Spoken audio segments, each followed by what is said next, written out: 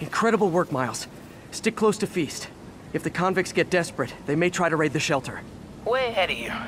Anything else happens here, I'll let you know. Great. Thanks, Miles.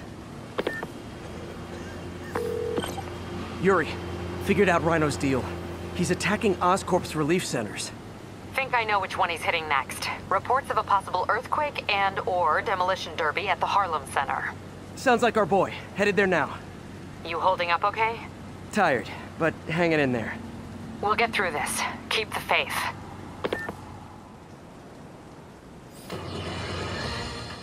The mass breakout at Rikers Island, which camera footage clearly shows Spider-Man involved in, has spilled countless hardened criminals into our streets at the worst possible time. I want to hear how it's affecting you. Speak! I don't know who I'm more scared of. The criminals or these Sable people. They've all got guns. I mean, it's like the Wild West out here. If one doesn't kill you, the other will. You raise a very salient point, caller. In times of martial law, civil liberties are most at risk. My advice? Keep your head down. Don't go out unless you have to. Trust the police before Sable. They're from here. They're in this with us. Document any abuses. At some point, this will be over, and they will be held accountable. What do we do about the escaped inmates from Rikers, Mr. Jameson? They'll do anything. Looting, home invasion, murder. Fight back. Arm yourselves with whatever you can legal firearms, baseball bats, pepper spray, hell, cooking spray in the eyes if that's all you got. We're New Yorkers. We don't lie down for anyone. Okay, but what if it's one of these nut jobs with powers? Like that rhinoceros guy? And my friend, you pray.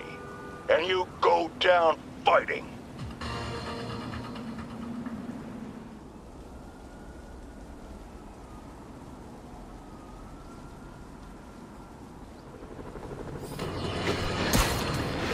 Electro trying to destroy our power grid.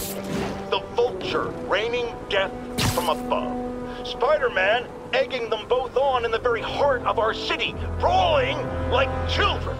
Lethal children, pitching a tantrum of death and destruction. I'm often asked, why do menaces like this end up with awesome powers? Why not someone like you, Jonah? well, I have considered trying to use advanced science to give me powers. Only so I could protect you in a more hands-on way, of course. But after much reflection, I've decided against it. Because power corrupts.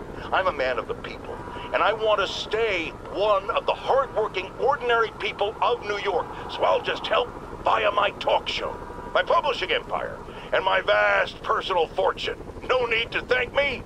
It's what a man of the people does.